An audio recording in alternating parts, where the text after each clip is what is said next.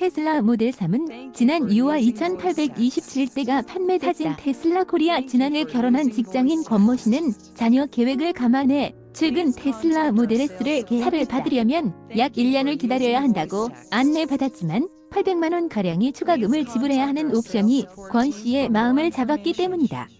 수입차 시장에 전기차 브랜드 테슬라가 슈퍼 루키로 떠올랐다. 카이즈유 데이터 연구소에 따르면 테슬라는 올해 상반기 국내에서 7,079대 차량 지난해 같은 기간 422대에 비해 1,677 달하는 급상장을 이룬 상반기 수입차 브랜드 순위도 5위에 올랐다. 위로는 메르세데스 벤츠, BMW, 아우디, 폭스바겐 뿐이다.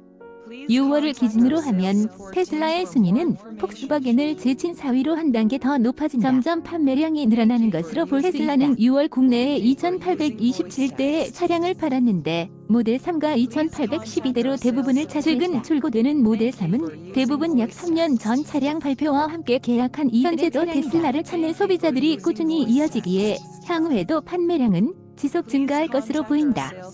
테슬라는 전기차로 유명하지만 전기차인 것이 인기 요인 가속 페달에서 발을 떼면 속도가 줄어들며 배터리를 충전하는 전기차 특유의 회생 제동은 많은 운전자들에게 이질적인 느낌을 준다. 매일은 아니더라도 며칠에 한 번씩 오랜 시간을 들여야 하는 충전은 여전히 아직까지 소비자들에게 전기차의 매력은 크지 않다. 테슬라 차량이 카메라를 이용해 주변 사물과 표지판 등을 인식하는 테슬라 테슬라가 국내에서 괄목할 만한 성장을 거둔 비결은 자율주행 기술에 있다. 테슬라 차량은 차로 유지 보조, adaptive cruise control 기능이 담긴 오토파일럿이 기본으로 탑재기를 통해 고속도로 등에서 잠시 손을 놓아도 안전한 주행 가능한 반자율 주행 기능을 구현한다.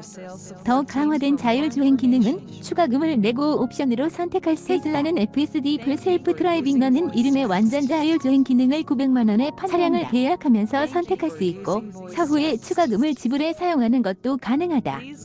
권 씨가 차를 계약한 지난달까지는 771만 원이었지만 이달 들어 미국 가격이 1000달러 인상되며 국내가도 904만 원으로 권 씨는 테슬라는 차가 아닌 소프트웨어를 사는 것이라는 얘기도 있다며 FSD가 아니었다면 테슬라를 고려하지 않았을 것이라고 말했다. 테슬라의 완전 자율주행 기능 FSD가 작동한 하진 테슬라 FSD는 오토파일럿에 추가로 고속도로 진출입과 차량 추월 등을 하는 NOA, 자동차로 변경, 자동 주차, 차량 호출 스마트 선문 등의 기능을 제공한다. 가령 고속도로에서 앞차가 느리게 달린다면 차량이 스스로 비어있는 옆 차선을 찾아 안전거리를 확보한 뒤 가속하며 차로를 변경한 불안해할 운전자를 위해 디지털 cluster나 메인 디스플레이에서는 주변 차량들의 위치를 실시간으로 보여줘 차량이 정상적으로 운행 중이라는 사실을 알려준다. 미국에서는 신호등과 표지판을 인식한 시내 자율주행도 가능하다만 아직 완성된 기술은 아니며 지속적인 개량이 이루어질 예정이다. 테슬라는 FSD 가격이 오르더라도 기존 구입한 고객들에게는 소프트웨어 업데이트를 무상으로 제공한다.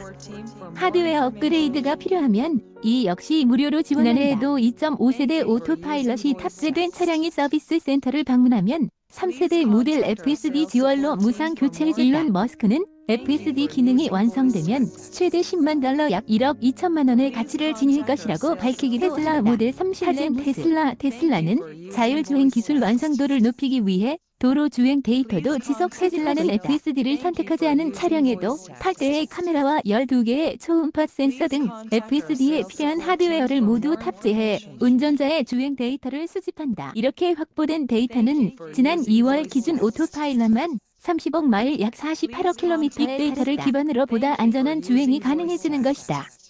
자율주행 자동차 시장은 급속도로 확대될 삼정 KPMG는 글로벌 자율주행차 시장 규모가 올해 8조 5천억 원에서 2035년 1334조 원으로 약 150배 증가할 것으로 전망내 시장 규모만 따져도 올해 1509억 원에서 2035년 26조 1794억 원으로 연평균 40 장한단 때문에 자동차 업계에서는 자율주행 기술 개발에 나서고 있으며 국토교통부도 이달부터 레벨 3 수준의 부분 자율주행차 판매를 허용한 바 있다. 우세성 한경닷컴 기자 SESUNG 한경.com 기사 제보 및 보도자료 오픈 앱 한경.com